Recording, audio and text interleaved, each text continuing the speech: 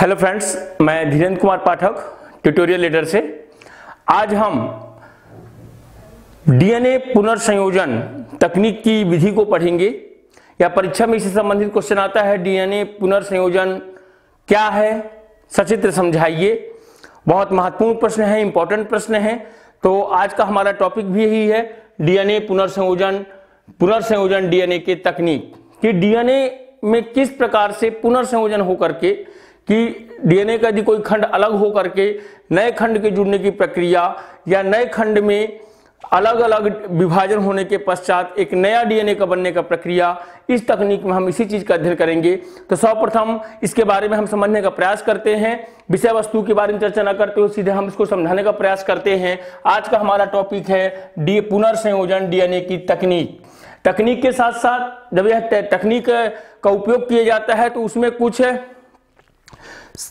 औज़ार भी एक औज़ार शब्द उपयोग करें हम, या उसके मटेरियल्स की बात करें हम, कि कुछ इसमें ऐसे कुछ पार्ट भी होते हैं जो इस टेक्निक में भाग लेते हैं।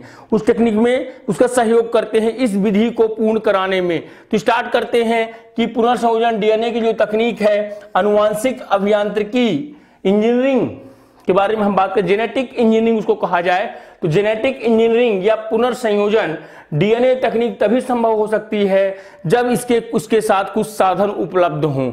उन साधनों की उपस्थिति में ही ये डीएनए पुनर्संयोजन की तकनीक पूर्ण हो सकती है। तो बोलता है ऐसे कौन कौन से साधन हैं? तो बोलता है प्रतिबंधन एंजाइम पॉलीमरेज एंजाइम लाइगेज संवाहक, परजीवी restriction enzyme polymer polymerase enzyme ligase vector और होस्ट ये होस्ट मतलब परजीवी. तो ये साधक हैं.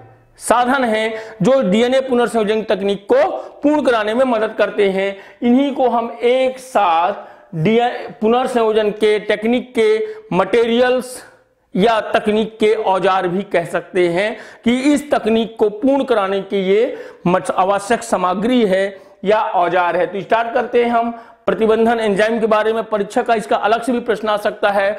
प्रतिबंधन एंजाइम किसे कहते हैं? समझाइए। तो आइए हम समझने का प्रयास करते हैं, प्रतिबंधन एंजाइम्स क्या है? प्रतिबंधन एंजाइम इंग्लिश में इसको रेस्टिकेशन एंजाइम्स कहा जाता है। स्टीवर्ड नील एवं बर्नर ऑर्नर, वैज्ञानिक के नाम है, स्टीवर्ड लिन और बर्नर ऑर्नर ने 1963 में स्टीरिया कोलाई जीवाणु में स्टीरिया कुलाई बैक्टीरिया में जीवाणु भोजी की, जीवाणु भोजी की वृद्धि को देखा, उसने जीवाणु भोजी की वृद्धि को समझा और इन लोगों ने इनको दो अलग अलग एंजाइम्स का इनको नाम दिया या दो अलग एंजाइम दो एंजाइम्स को अलग किया इस जीवाणु भोजी की वृद्धि को देखते हुए। बोलता है, एक एंजाइम ऐसा था जो डीएनए को तोड़ता था। एक ऐसा था जो मिथाइल समूह को जोड़ता था तो बोलता है, एक एंजाइम ये था कि जो मिथाइल समूह को जोड़ता है, दूसरा एंजाइम ऐसा था जो डीएनए को क्या करता था? काटता था। ये चीज़ उनको कहाँ से प्राप्त हुई? बैक्टीरिया कोलाई बैक्टीरिया जीवाणु भोजी की वृद्धि को देखते हुए उस एंजाइम को उन्होंने दो हिस्सों में, कौन से एंजाइम्स को?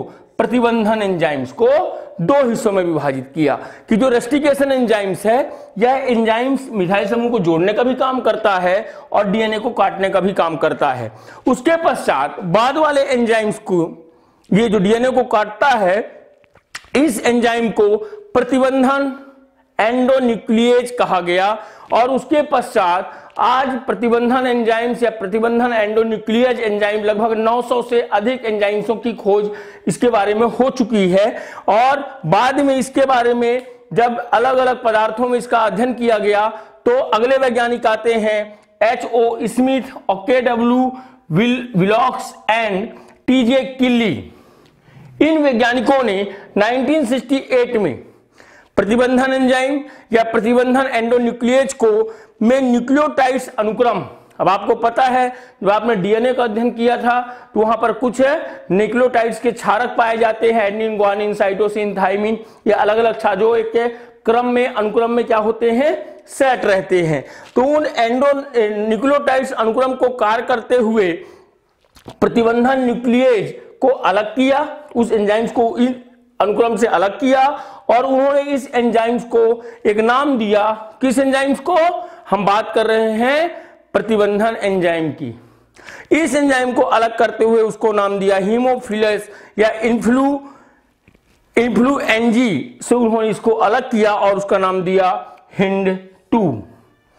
हीमोफिलिस इन्फ्लुएंजी, उसी का नाम दिया हिंड, द्वितीय नाम दिया। अब जो ये हिंड द्विती इसके बारे में जो हम प्रोसेस पढ़ रहे हैं, ये हिंड द्वितीय आता, उससे पहले मैंने उसके समझे, बारे में आपको समझा दिया कि हिंद द्वितीय कहाँ से आया सेकंड कहाँ से आया, और रोमन नंबर इसमें लिखा हुआ है। तो हिंड सेकेंड या प्रतिबंधन एंजाइम आप कहिए डीएनए को उस बिंदु पर काटते हैं। मान लिया डायग्राम बना हुआ है तो ये यहाँ से डीएनए अलग हुए। तो बोलता है डीएनए को उस बिंदु पर काटते हैं जहाँ पर छह नाइट्रोजन क्षारक सॉरी छह क्षारक युग में एक विशेष अनुक्रम में जुड़े हुए रहते हैं। तो यहाँ पर देखिए, छह जो ये क्षारक हैं साइटोसिन थाइमिन एडनिन और ग्वानिन इसी प्रकार ये ऊपर भी ग्वानिन एडनिन थाइमिन और साइटोसिन ये क्षारक आपस में एक दूसरे के साथ यहाँ पर छह नाइट, क्षारक आपस में अनुक्रम में पाए जाते हैं और यहीं पर डीएनए को ये प्रतिबंधन एंजाइम्स क्या कर रहा है? अलग कर रहा है।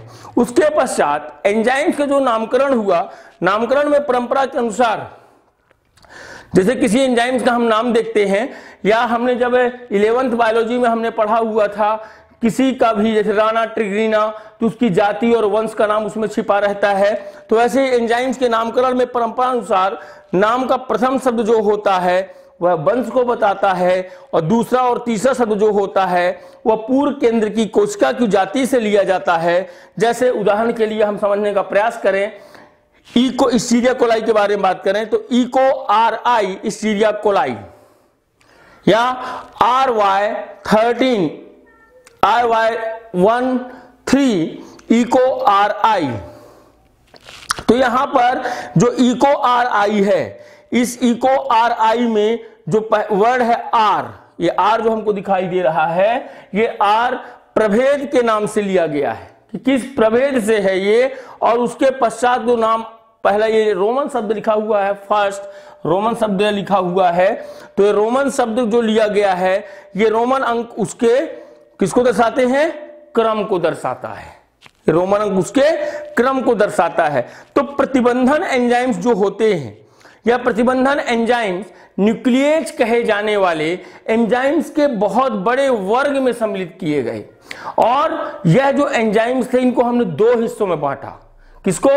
प्रतिबंधन एंजाइम्स, प्रतिबंधन एंडोन्यूक्लियज, इसको हमने दो हिस्सों में बांटा।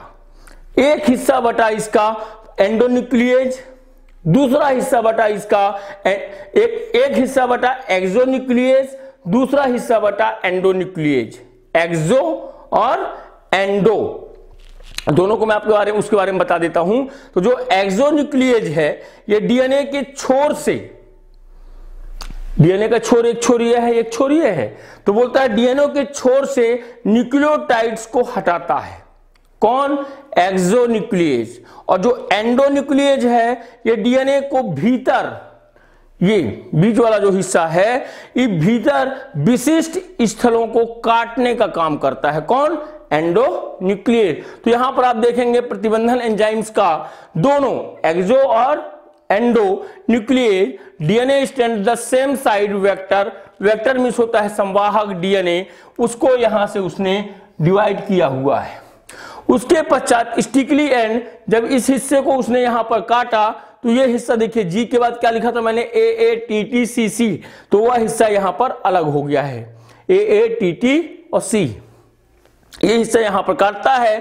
उसके पश्चात joining of DNA at stickily end और जो छोर वाला हिस्सा है, उस छोर वाले हिस्से को फिर से यहाँ पर जोड़ने का काम जो यहाँ पर जो आपके डीएनए के छोर में जो न्यूक्लियोटाइड्स हैं, उनको जोड़ने का काम यहाँ पर उसी खंड में कर दिया जाता है। इसी क्रिया को डीएनए पुनर्संयोजन तकनीक भी कहते हैं या प्रतिबंधन एंजाइम का हम कार्य देख रहे हैं। तो इस हिस्से को formation of the recombinant DNA, पुनर्संयोजन DNA तकनीक, प्रतिबंधन एंजाइम की यह क्रिया विधि है जिसको हमने समझने का प्रयास किया। पहला प्रोसेस, उसके पश्चात ये खंड यहाँ से कटा। कटने के पश्चात जो क्षारक युग्म था उसको अलग किया गया और जो क्षारक युग्म को उसको जोड़ना था छोर से, उसको ला करके यहाँ खंड से जोड़ दिया गया। तो जब यहाँ पर हुआ क्या है टोटल तो यहाँ पर जब डीएनए के G double A double T और सी अनुक्रम उपस्थित होता है तो Eco R I DNA Eco R प्रथम डीएनए डीएनए को क्षारों जी और ए के बीच से तो जी और ए के बीच से यहाँ पर क्षारों को काटने का काम करता है। किसने यहाँ पर जी और ए को काटा है यहाँ बीच से। ये काम किया प्रतिबंधन एंजाइम्स एंडोन्यूक्लियस और एक्सो न्यूक्लियस ने। तो प्रतिबंधन एंजाइम्स के बारे में हम समझने का प्रयास कर रहे हैं। प्रतिबंधन एंजाइम्स या प्रतिबंधन एंडोन्यूक्लियर डीएनए अनुक्रम की लंबाई के निरीक्षण के बाद प्रतिबंधन एंजाइम्स काम करता है कि डीएनए की लंबाई मतलब उसको निरीक्षण करता है कि कहाँ पर मुझे इसको काटना है, किस भाग से मैं यहाँ पर इसको काटूँगा, उसका निरीक्षण करता है ऑब्ज़र्व करने के पश्चात जहाँ पर वह अनुक्रम उसको सेट लगता है एंजाइम्स को, वहाँ से उसको डिवाइड करता है। जब यह अपना विशिष्ट विशिष्ट अनुक्रम जो प्रतिबंधन स्थल, इस स्थल को क्या बोलेंगे? रेस्टिकेशन पॉइंट प्रतिबंधन स्थल। तो जहाँ से जिस स्थान से वह काटता है, उस स्थान को बोलता है, क्या कहा जाता है? रेस्टिकेशन साइट कहा जाता है और यह पहचान लेने के पश्चात, जब इस स्थान को वह पहचान लेता है तो पहचान लेने के पश्चात डीएनए का वह खंड आकर के वो उस स्थान से जुड़ता है। और द्विकुंडलिनी ये द्विकुंड, डबल हेलिक्स। तो द्विकुंडलिनी कि दोनों लड़ियों को दो, अब डीएनए में आपको पता है क्या क्या पाया जाता है? डीएनए में नाइट्रोजनी क्षारक सरकरा फास्फेट पेंटोस सरकरा पाई जाती है। फास्फेट समूह उपस्थित होता है। तो यह जो उसके केंद्र है फास्फेट समूह के या सरकरा के जो केंद्र है उस स्थान पर काटने का काम करता है। प्रत्येक प्रतिबंधन एंडोन्यूक्लियर डीएनए में विशिष्ट रूप से पैलीड्रोमिक न्यूक्लियोटाइड्स अनुक्रमों को पहचानता है और उसके पश्चात यहाँ से यह रक्षा क्रिया विधि जो है क्रिया होती है, इसको रक्षा क्रिया विधि के नाम से के भाग के सॉरी रक्षा क्रिया विधि के रूप, एक भाग के रूप में कार्य करता है, रक्षा क्रिया विधि के रूप में यह काम कर रहा है और इस पूरे सिस्टम को प्रतिबंधन, रूपांतरण तंत्र कहा या कहलाती है या कहा जाता है तो यह है पूरी सिस्टम रूप प्रतिबंधन, रूपांतरण तंत्र कहलाता है। तो यह है डीएनए पुनर्संयोजन डीएनए की तकनीक और उसके औजारों के बारे में आपको बताया, प्रतिबंधन एंजाइम्स के बारे में आपको बताया कौन कौन से औज़ार हैं उनके बारे में मैंने आपको बताया और किस प्रकार से डीएनए को काटने और जोड़ने का काम किया जाता है, इस तकनीक के माध्यम से उसको आपको मैंने बताया। तो निश्चित रूप से आपको समझ में आएगा। इससे संबंधित यदि कोई कोई समस्या है तो कमेंट्स में ज़रूर लिखें और उसके ऊपर मैं वीडियो बना करके नेक्स्ट आपको प्रस्तुत करूँगा। धन्यवाद।